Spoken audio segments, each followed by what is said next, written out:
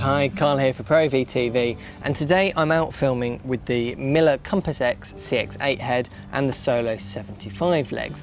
I'm actually in the middle of filming my review on the FS5 Mark II, so I thought I'd stop and give you a rundown of this tripod as well, talk you through what the camera, the tripod's capable of and what it can do. So what I really, really like about this new lineup of heads that Miller have released, this Compass X lineup, is that the payload goes between 0 and 12 kilograms for this mid-range head. All of the heads, regardless on the maximum payload that they can do, can go down to zero, which is amazing because, for example, in this setup with an FS5 Mark II, the MK lens, and then a Titan arm with a Shogun Inferno, this is getting reasonably heavy and so it's well within, um, within the middle payload for this head. But if I started to strip all this off and just go with a small little lens on just the body only, you'd be well under the minimum um, payload range for most heads of this caliber. A lot of professional heads like this having minimum starting payload. So they might be between 2 kilograms and 12 kilograms, for example and two kilograms is way heavier than this camera weighs by itself.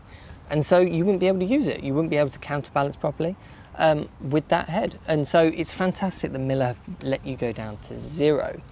You also get 16 stops of counterbalance and 16 positions for your counterbalance to be set to. So it's very easy to fine tune exactly the right counterbalance level for the weight that you've got on the top.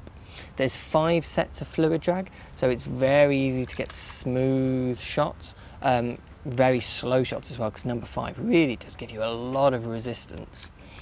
Um, and it can go really low and really high with these solo legs. So the minimum height is only 234 millimeters and the maximum height is 1,625 millimeters. So it's really easy to go between nice and low and nice and high, which is why I like personally using solo legs like this. I think this is a fantastic combination.